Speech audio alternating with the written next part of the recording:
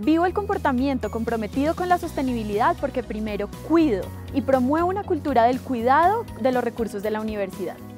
Segundo, reflexiono y estoy abierta al cambio de comportamientos y hábitos que puedan afectar la eficiencia y perdurabilidad de los recursos. Tercero, porque promuevo la inclusión de discusiones en la comunidad universitaria sobre la necesidad de la disminución de la pobreza, la reducción de las desigualdades y la promoción del mayor grado de acceso posible a los derechos de todos los seres humanos como presupuestos esenciales para el desarrollo sostenible.